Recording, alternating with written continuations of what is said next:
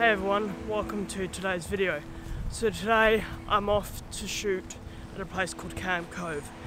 This is a place that I've been looking at for a while. I've wanted to shoot there for quite some time. And today conditions were looking pretty good for sunset. So I decided I would pack up my stuff and leave. This is a very much a last minute thought, not many of my shoots are actually very last minute like this one. Conditions at the moment are quite cloudy. It's patchy clouds, high and medium altitude clouds, I'd say. But we are also at the tail end of a storm. We had a storm yesterday, and we've got a storm next week as well. It's been quite crazy at the moment. Lots of rain, bit of thunder. Often you get really good conditions at tail ends of storms before and after. Get some really nice colours and cool cloud patterns and stuff like that. And I think today is very much attested to that.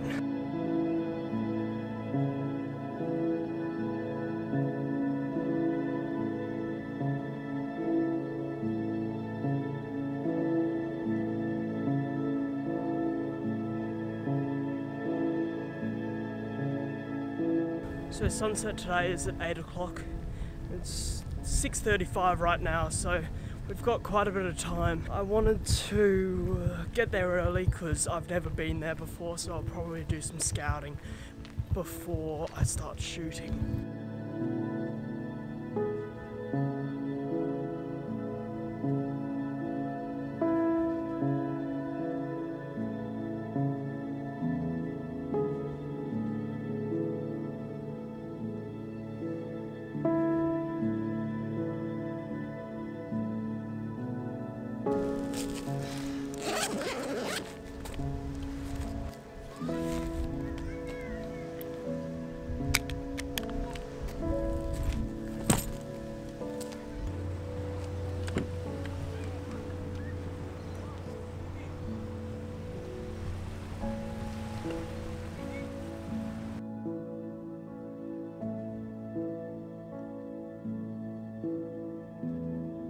So I've arrived on location, and actually, there's a massive storm coming into Sydney at the moment. I can just see on the horizon, there's this awesome colour, this orange colour, and we've got lightning as well. This is some really awesome conditions. It's my first composition here, including the fishing cottage on the right side of my frame. On the left side, we've got that storm. It's a really intense shot. So I put my 10 stop and polarizer on, focusing on the fishing cottage. It actually looks really good. It looked a little bit odd with the cottage just in focus, so I think I'm gonna focus to infinity and get the whole frame in focus. F7.1, 25 seconds. Okay, so that actually looked quite good. Was a little bit overexposed, but I can see the potential in it now. So I'm gonna go. I think what it was the it was the orange part in the frame that was overexposed. So I'm gonna polarize the image a bit more. Go two seconds. I'm gonna bring it up just to f8 and keep it at 25 seconds. But it looks really good.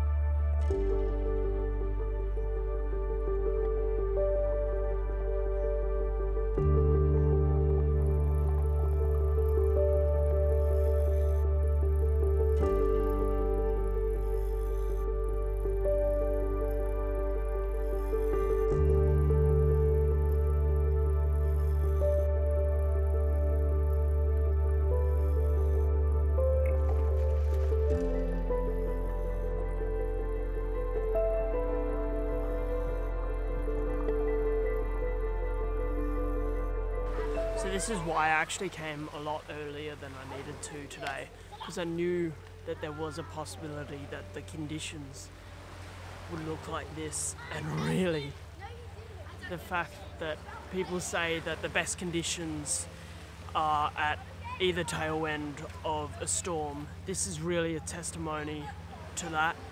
This is some of the most incredible conditions I've ever seen.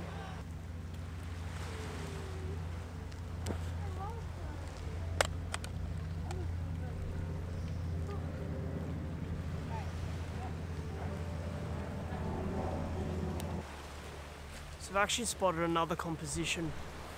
I've taken the camera into vertical and I'm going to be shooting this pylon that's in the middle of the water. Now the whole scene at the moment is orange and it's still only 7.16 so I cannot wait to see what it looks like at sunset. But over there is where sunset is going to be towards the Sydney Harbour Bridge behind me so it should look really really nice. But all this water behind me is just glowing orange and then we've got the orange sky behind it as well. I'm gonna get this photo before I lose the conditions. Because I am trying to portray this really intense atmosphere in these photos, I am using long exposures just to blur this water and I really enjoy doing long exposures. You might have figured that out from the amount of videos I do about it. So I'm going to shoot at 20 seconds f9 ISO 100.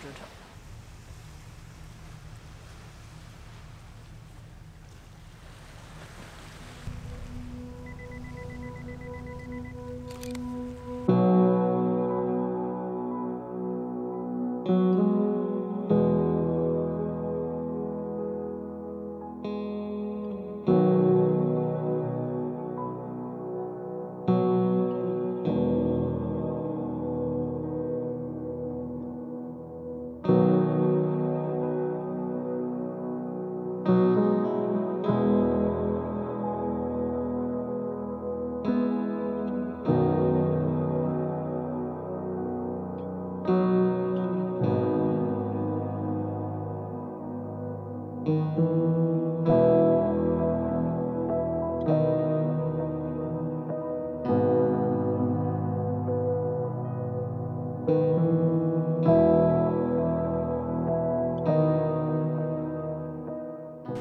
my next composition here, I've actually gotten up on top of a rock to try and get some separation from the cottage to the city behind it. And behind the city at the moment, we've got this awesome orange glow from sunset and it looks really insane. It kind of looks like a fire. So this is my composition here. I've just got the cottage here as a foreground interest and on the side here we've got the pylon as well. As well as that we've got this jetty leading the eye out to the cottage a little bit and of course the city in the background with the fiery glow behind it. It looks really nice. So for this shot, I'm gonna go 30 seconds f6.3 and ISO 200. The reason why I've chosen those settings is because I don't really want to bring the aperture down open too much because the depth of field will be off and not the whole frame might not be in focus. 30 seconds because I want a long exposure. So someone has actually walked onto the jetty. It's okay. He's in a position that looks kind of nice. I'll be able to include him in the photo. Just focus to infinity.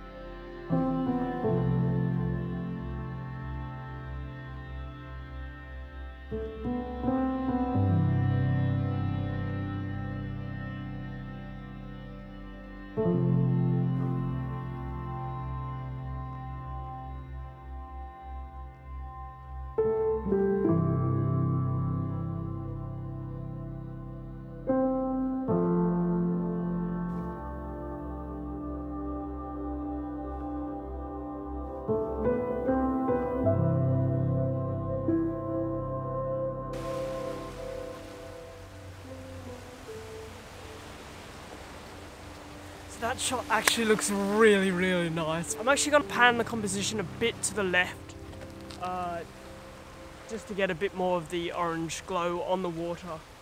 But it looks insanely beautiful.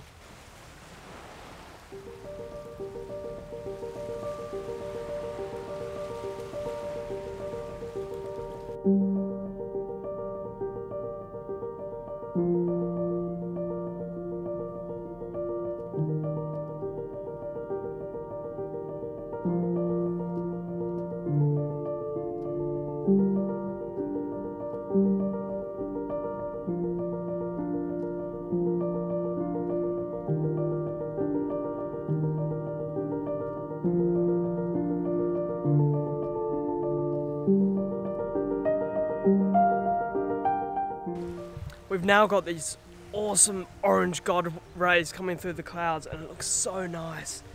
This is what makes me happy. This is this makes up for the weeks and weeks without a shoot.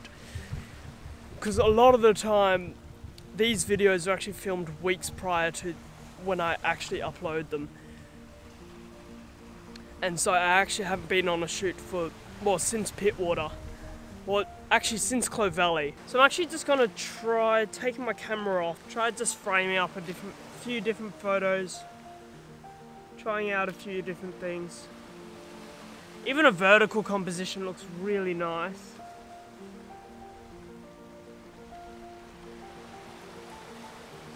I wanna go vertical actually. I think from now, I'm gonna raise my ISO and I don't enjoy raising my ISO too much because well, it introduces noise into the image. Yeah, so I'm going to bring it to 30 seconds, f6.3, ISO 400, two second timer, focus to infinity and in a vertical composition.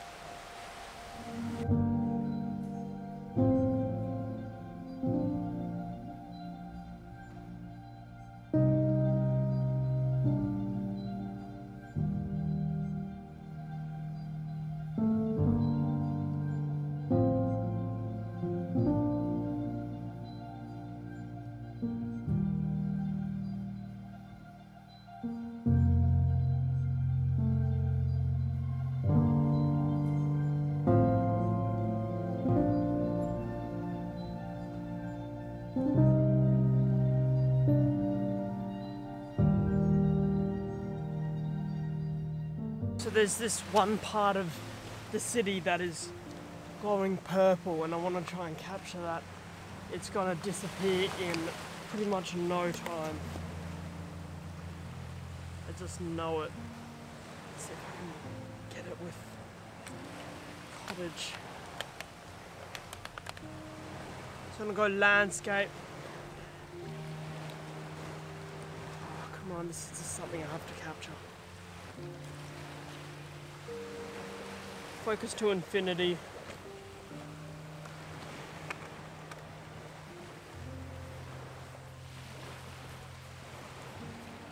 I'm going to take my aperture down to f5.6 and we've lost the purple glow.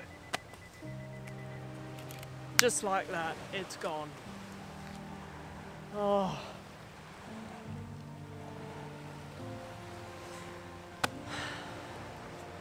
Still got some insane photos. I have never witnessed something like that going off. Wow.